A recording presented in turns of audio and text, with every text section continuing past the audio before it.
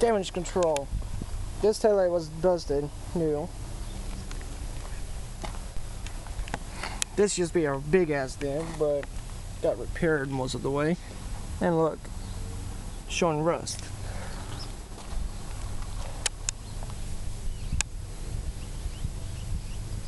Hmm.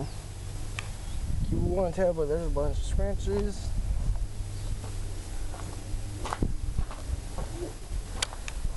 Barbecue Grove damage. Deer. And Chris leaning against that bear dumbass.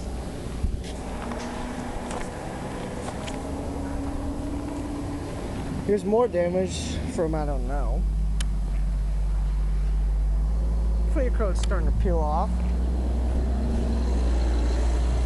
Because this is like one of them older clear coat jobs that these companies did before they finally found the perfect mixture for clear coat to last a lot longer.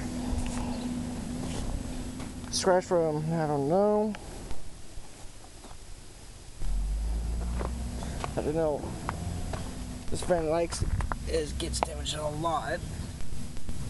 Part of the rear bumper guy is missing. Put another muffler on it and to cover it up. May remember this exhaust tip from the previous vids. What?